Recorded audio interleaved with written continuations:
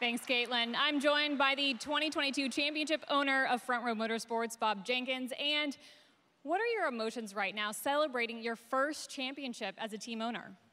You know, it's really hard to describe. I see how hard this team works every week preparing these trucks. Uh, we just about have to run them out of the race shop. And then every race day, they compete so hard. And this, for me, has just really been a dream season. And it really made, you know, standing here tonight something special. Well, we just heard Caitlin and Chris discuss Zane Smith. He's remaining with the team in 2023. And not even that, he is going to be making some Xfinity and Cup Series starts. So is it fair to say that Zane represents a very big part of Front Row Motorsports? He does. I mean, we recognized early on Zane is a tremendous talent.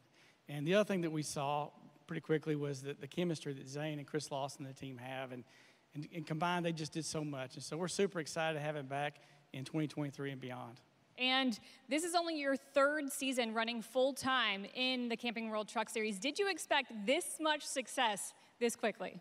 Well, when we got in the series, we, you know, we decided we wanted to race for wins and compete for championships. And I really have to give the credit to Jerry Freeze and the leadership at Front Row because they put the pieces together to make this happen.